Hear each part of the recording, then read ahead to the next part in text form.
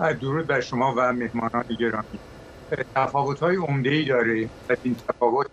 که جنگ های گذشته نسبتا محدود بودن هرگز نیروهای فلسطینی جهاد اسلامی و یا حماس قادر نبودن که وارد خاک اسرائیل بشن با این تعداد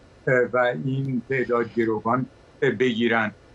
تفاوت دیگری که وجود داره بین این جنگ های دیگر این است که اسرائیل طبق گفته وزیر دفاع این کشور می‌خواهد یک نظم نوینی رو نظم نوعی رو در نوار غزه به وجود بیاره که در نتیجه این نظم گروه های جهادی از بین بروند که خب این ضربه بسیار محکمی خواهد بود به وجه و حضور جمهوری اسلامی و دشمنی جمهوری اسلامی با اسرائیل در این منطقه و تفاوت دیگری که وجود داره این هست که در پایان این جنگ یک در این نظم جدید یک صلحی بر یا یک آرامشی برقرار خواهد شد که زمینه رو فراهم می‌تونه بکنه برای حضور دولت خودگردان فلسطین که امروز در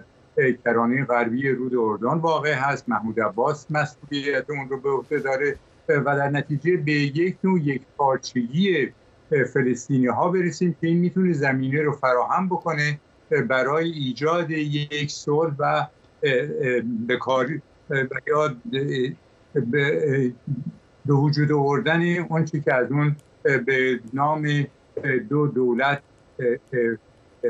نام برده میشه. یعنی اینکه دولت فلسطینی در کنار دولت اسرائیل منتها دولت فلسطینی که آری از هر گونه حضور گروه های تروریستی و گروه های نیابتی قدرت های خارجی جمهوری اسلامی باشه. بنابراین این جنگ با جنگ های گذشته تفاوت های بسیار عمده و کیفی داره.